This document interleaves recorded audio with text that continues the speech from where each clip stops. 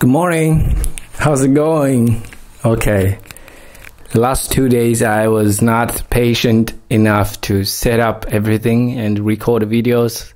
Standing here with my lights on, I just wanted to get my videos recorded. But that is fine. And today I got a little bit more patience. And yeah, I finished the video for my mom I'm going to make some small changes later this morning, but I finished the video. I mean, it was just a quick one, 2 minutes and 58 seconds. Yeah.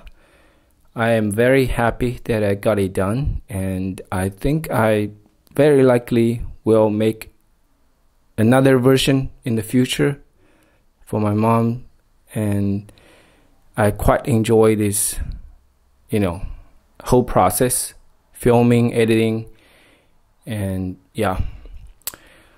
I also thought about I am very lucky to, you know, get to know some friends and they are in the film industry. They're having a, you know, legit company for, you know, video production and filming and all that, I can definitely, you know, learn so much from them.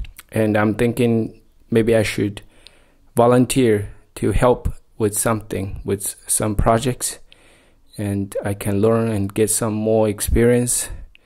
I'm very happy to do that. Yeah.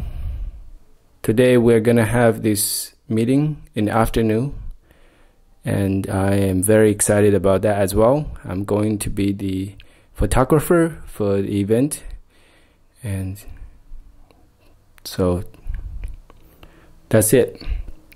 That's it. okay.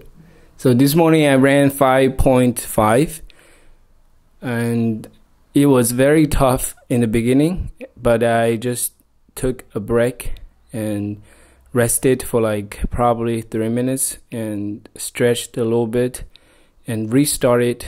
So, and I also, I mean, I went to the uh, center of the city. I saw a lot of people were still having, you know, food and drinks on the street, and they were like, you know, screaming and yelling at each other, having a good time which motivated me to run faster because I knew I was doing a better thing compared to what they're doing to my body, to my health.